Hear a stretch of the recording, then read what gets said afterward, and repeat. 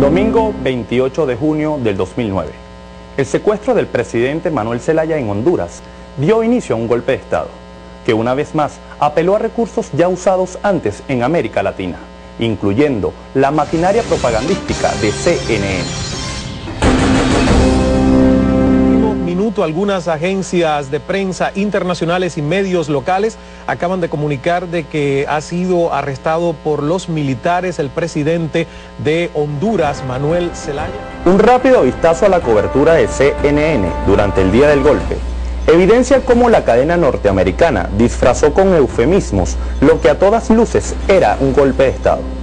CNN lo comienza a cubrir como un golpe de Estado pero vemos el cambio como rápidamente durante el día de cómo cambia en las palabras de CNN, en sus titulares, en sus clasificaciones sobre eh, esta noticia, en cómo lo están llamando, comienza como un golpe, golpe en Honduras, y luego se cambia a ser una secesión forzada.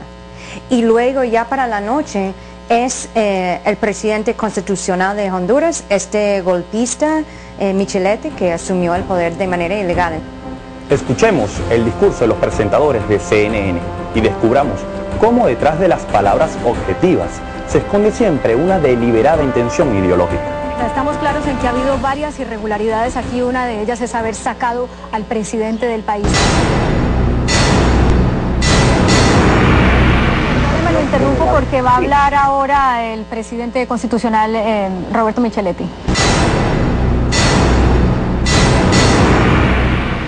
institucional se desató precisamente cuando el presidente Zelaya dijo que destituiría al jefe de las Fuerzas Armadas por no apoyarlo en su iniciativa.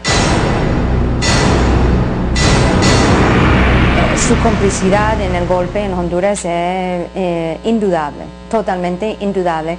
Y no sería así, no pudiera CNN asumir esa posición en apoyo y en complicidad con el golpe de Estado si no fuera por las líneas que están recibiendo desde Washington. Pero tal vez la mayor muestra del tratamiento benevolente de CNN a los golpistas llegó al final de la noche, durante una entrevista de la corresponsal Cruz Callalis al presidente ilegal Roberto Micheletti.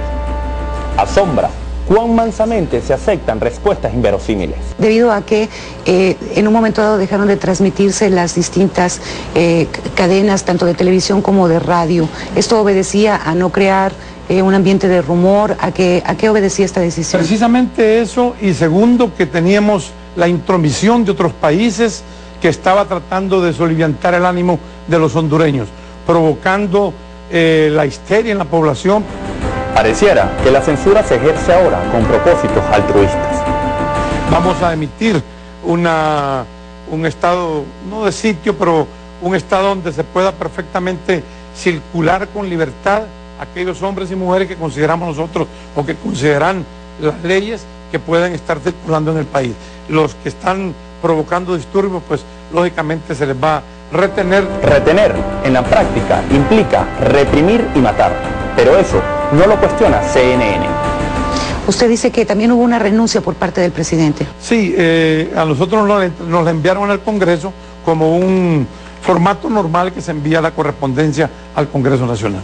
La supuesta renuncia de Zelaya llegó por correo normal, pero eso a CNN no le resulta sospechoso. Presentan una renuncia supuestamente firmada por el presidente Zelaya con fecha fechada de tres días para atrás, además ni siquiera tenían eh, la inteligencia de cambiar la fecha, colocarle la fecha del día del golpe, sino ya tenían preparado el golpe días antes, entonces tenían la carta preparada. Y lo mismo sucedió en Venezuela.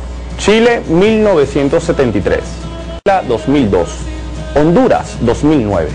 Tres golpes con una misma receta política y comunicacional. Para los pueblos, sin embargo, ahora hay más de una diferencia. Si no tuviéramos Telesur, no estaríamos tal vez en esta posición en que estamos hoy. Ya con, por lo menos el presidente Zelaya está protegido, ha sido eh, rescatado por todos los países vecinos de esta región. La información ha salido a la comunidad internacional solo por la voz de Telesur.